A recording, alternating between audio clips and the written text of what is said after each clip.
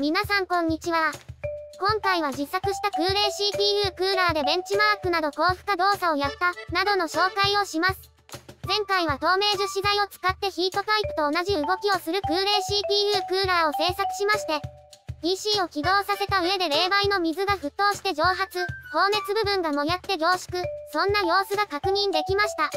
そんな動きをしていましたが、容器内は29度 C くらいで圧力はマイナス 98kPa で低圧のままと、低温低圧で水が沸騰して水に戻るというヒートタイプらしい動作が目視できた感じです。ですがこの動作は PC を起動した直後のものなので、CPU クーラーを自作したらやっておきたい高負荷時の動作確認。ベンチマークなどではどうなるかはまだ見れていません。ということで今回はベンチマークやストレステストを実施して、CPU クーラー内の様子、温度や電力から算出した冷却性能の評価。それらの動作や結果を踏まえての今後の改良方針。あと今回の最後に、パート23で私から皆さんに相談したエタノールやノベックなどに関する相談話の続き。それらについて紹介していきます。で今回は動作確認の結果紹介なので、動画冒頭で早速ですが、これまで通りに結果概要から紹介します。前回紹介した CPU クーラーでベンチマークソフトシネベンチ R20 を1回乾燥させて、その時に CPU パッケージ温度、パッケージ消費電力のそれぞれの最大値と、PC 周りの空気温度を環境温度として温度計で測定した結果、CPU、インテルの Core i7-6700 系、低活動差で環境温度25.7度 C、消費電力は 79W、CPU 温度は 78°C でした。スコアはこれまでの動作確認と大差ない2132ポイントで、特段の制限も起きずに無事、無事に完走できました。ですが、78度 C ってどんなものなんでしょうということで比較用にインテルの Core i3 用のリテールクーラーと、サイズの無限5でも同様の確認をしたところ、リテールクーラーだと69度 C、無限5だと50度 C。はい、今回自作した CPU クーラーが一番高かったです。CPU 温度、消費電力、環境温度から算出した熱抵抗という冷却性能を数値化したもので見ても実作品が一番悪いです。ちなみに熱抵抗というのは数値が小さいほどに熱の移動にとっての抵抗が小さい、つまりは熱移動がスムーズということで、CPU クーラー的には小さいほど冷却性能がいいというものなんですが、まあ CPU 温度が低い順に熱抵抗も小さいという順当な結果のままでした。こんなものか、って感じもしますが、これが初めて自作した空冷 CPU クーラーのスタート地点、点点なんでしょう。この毛細管現象とは無関係そうな、真っ平らな銅板で水を沸騰させて、放熱できるヒートシンクの部分はおそらく他よりもとても小さそうなラジエーターで放熱させる。そんな自作空冷 CPU クーラーの初めてのベンチマーク結果です。まずは熱抵抗まで無事に計測できたという点を喜んで、今後の改良につなげていこうと思います。と記録を残せたわけですが、CPU クーラーの様子で気になるところもありました。それが先ほども触れた放熱部分と沸騰部分です。というか放熱と沸騰がこの CPU クーラーのほぼ全てみたいな重大な要素なんですが、放熱に関してはベンチマーク中、CPU 温度と容器内温度が安定せず上昇し続けるという放熱不足が疑われます。ところで容器内温度というのは、タイプ部に挿入した熱電対による測定で確認しています。容器内温度が上がったので容器内までは熱が来たみたいです。それでも安定せず温度上昇し続けたということは、おそらく放熱できずに熱が溜まって温度上昇したってことでしょう。CPU 温度はそれに連動したんだと思います。沸騰に関しては、これも容器内温度が関わっていて、ベンチマーク終盤の CPU 温度が80度 C 近いのに対して、容器内温度が45度 C くらいで温度差30度 C オーバー。って開きすぎじゃないそんな疑問点が見つかりました。沸騰熱伝達ってこんなもん？と気になりまして、容器内をじろじろと見ていたら、高負荷時は何が何やらわかりませんが、アイドル時は銅板と取り替えたの角っこからあぶく、沸騰し始めているのがわかりました。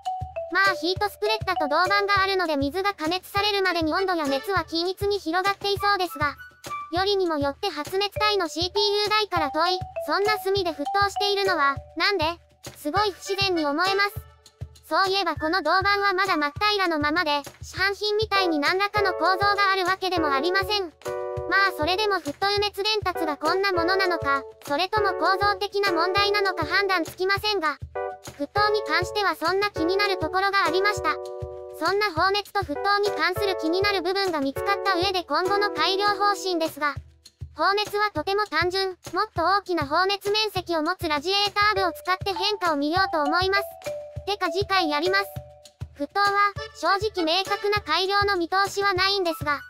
ひとまず銅板状に市販品みたいな毛細管現象を起こせる構造を作って、様子見しようと思います。という感じで、初めての動作確認で分かった現状の冷却性能と気になるところ、今後の改良方針という結果概要でした。ここからは詳細ということで、概要では話しきれなかった CPU クーラーの様子とかも紹介していきます。先ほども話した CPU 温度、容器内温度の上昇ですが、あれは1回のベンチマークで上昇しきらなかっただけで、もっと長時間続ければどこかで温度が安定するかも。そう思ったのでストレステストをやってみました。ストレステストで使ったのは CPU-Z というソフトです。CPU-Z のストレステストは、ストレステストという割には OCCT と比べて低負荷、しかも変化がない単調なもので、実使用を再現したみたいな感じはしませんが、CPU クーラーの性能評価的には負荷が単調。もとい安定している方が CPU クーラーの変化に気づきやすいので CPU-Z を使いました。CPU-Z のストレステスト機能を使って、CPU には変化が少ない単調な発熱器になってもらった、みたいな感じです。でストレステストを続けたわけですが温度上昇は止まらず、5分続けたくらいで CPU 温度は80度 C オーバー、容器内温度も50度 C オーバーになりました。この辺りで耐熱性の低いアクリルが心配になってきたので、そろそろテストを中止しようと考え始めているんですが、中止する前にもろもろを観察しておきました。冒頭でも話したように温度上昇が止まらないということは熱が溜まって逃がせずにいるんだろうと考え、試しにヒートシンクを触ってみると、これが湯加減だったら水を足したくなる、そんな具合の暑さでした。容器内温度が50度 C くらいというなら、風を受けているヒートシンクはそれよりも低温でしょうから妥当な感じです。ということはヒートシンクの外壁面までは熱が来ている。あの温度上昇は空冷部分が原因、放熱面積不足か、となりました。ま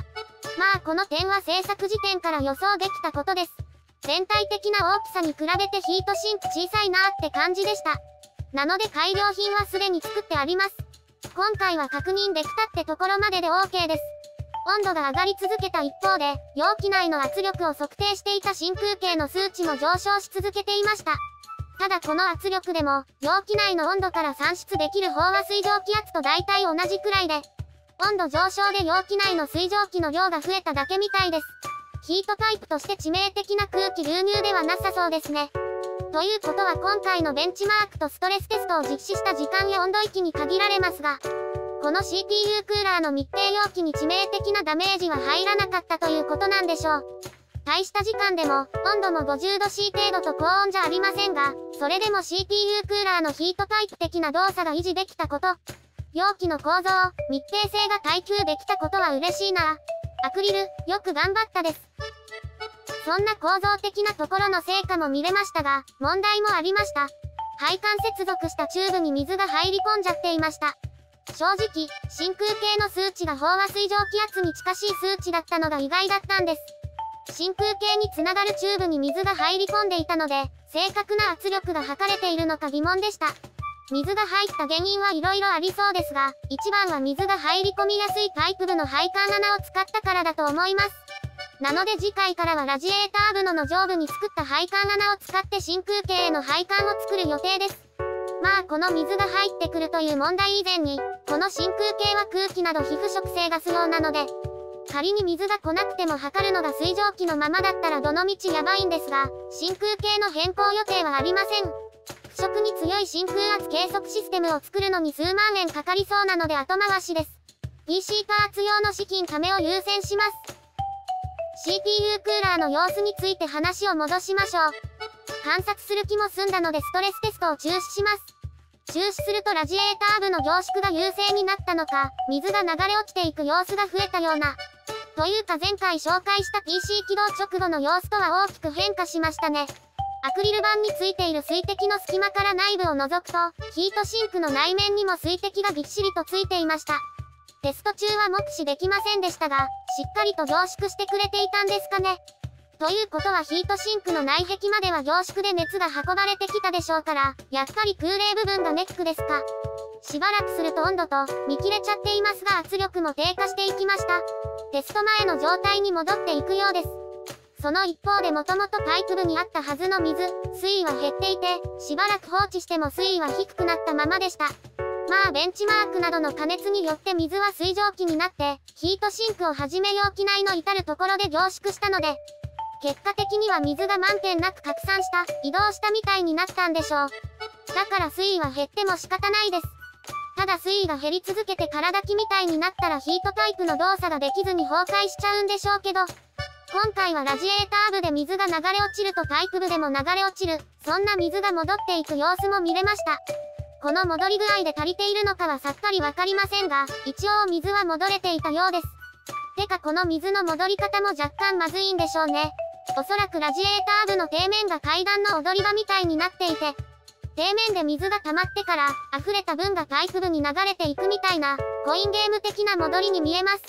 見てる分には面白い、というか獅子脅し的な何かに通ずるような、ですが冷却的には不要で、なくすべき部分でしょう。この点も次回の改良で、多分良くなるかもです。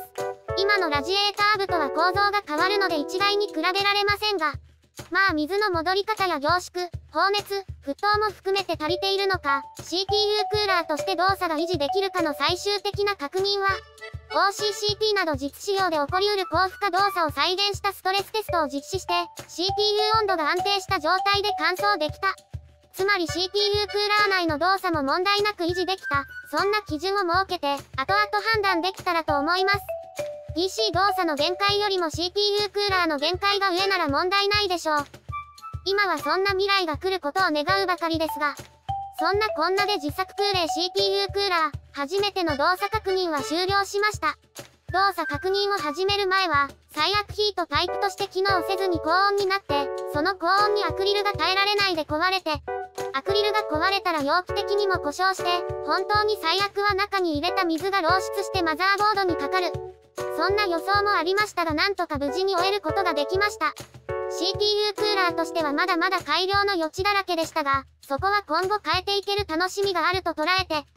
一つずつ、できるところから改良していきたいと思います。次回はこれまでにちょいちょい話していた、ラジエーター部の改良をします。沸騰はなんとなく沼になりそうな気がするので、先に方針が明白な放熱を済まして、その後沸騰に取り掛かろうと思います。以上、動作確認と今後の改良方針でした。ここからはパート23、輸直 CPU クーラーを紹介した際のおまけで私から皆さんに相談したエタノールのベックに関する話です。まず、その際は皆様から多くのアドバイスをいただきました。本当にありがとうございます。毎度ですが大変助かっております。皆様からのアドバイス、その後私自身もさらに考え調べた結果ですが、エタノールやノベックなどフッ素系冷媒ですが、使わない、制作予定から外す方向で検討を進めることにしました。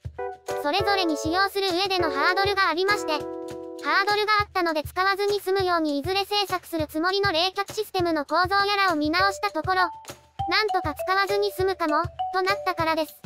一つずつ話していきます。エタノール、特に無水エタノールはドライアイス極冷の中間冷媒、みたいに使われたり、絶縁性があるから PC の洗浄でも使えたりと、PC との相性が良さそうと思い仕様を考えていたのですが、アドバイスでもいただきましたがやはり燃料、というか可燃物、下手すると爆発物という部分が無視できませんでした。ちなみに自作 CPU クーラーの材質とエタノールの相性で、ひびが入るなどの問題は回避できる見通しがあったのですが、引火、発火、爆発は、どうしようもないなーってなりました。いやヒートタイプの冷媒として密閉性を保てば、冷凍庫に入れて引火点以下で使えば、様々な回避策もあったのですが、どうしても準備、解体作業時は開放状態で、加えておそらく常温で作業するでしょうし、なんならヒートタイプの冷媒に使ったら、エタノール蒸気、エタノールガスがある状態で解体しないといけません。結局、怖いなって思った次第です。でちょっと違う方面の話ですが、実は YouTube に動画投稿する際のチェック項目で、登場人物に危険が及ぶシーンはないか、みたいな項目があるんです。当人の私が危ないかもって思ったら、盲導しようもない気がしました。のベックなどフッ素系冷媒はまた別の理由です。ところでここまでのベックなどをフッ素系と呼んできましたが、ここからは HFE 冷媒と呼びます。調べたらフッ素系冷媒って多種多様で、エアコンなどで使われるフロンコと HFC だったり、のベック以前の濡れない液体、フロリナートなどの FC、PFC だったり、そしてのベックなどは HFE がありました。ちなみに HFE を略さずに言うと、ハイドロフルオロエーテルだとか、かっこいい。で使いたかったその HFE 冷媒ですが、環境負荷が比較的に低くて、不燃性、低毒性らしくて、それでいて常温では液体なんですが製品によっては沸点のバリエーションがあったり、融点もマイナス100度 C 以下だったり、さらにはサーバーなどで液浸冷却が行われた実績もあるという、とても有望な冷媒です。当初の私としては輸直の進化型として HFE 冷媒を使いたいなとか、エタノールの使用を避け始めた頃は HFE 冷媒で低温環境向けのヒートパイプを作れないかって考えていました。で、当初 HFE 冷媒に対する私の疑問は処分方法をどうするかという点だったのですが、調べていくうちに、どうやら製造元としては現状の私の立場での使用はやめてほしい、的な注意があると知りました。ちなみにこの注意は私が勝手に意訳した内容で話しているので詳しくは異なりますが、製造元としては、安全に管理、使用、廃棄までたどり着ける事業者に使ってほしいみたいです。まあごもっともです。製造元がそう言うんだと使いにくい、というか候補に入れられない。そう考えたので使わない方針にしました。そんなわけでエタノールと HFE 冷媒に対して相談前よりもハードルが高まった気がしまして、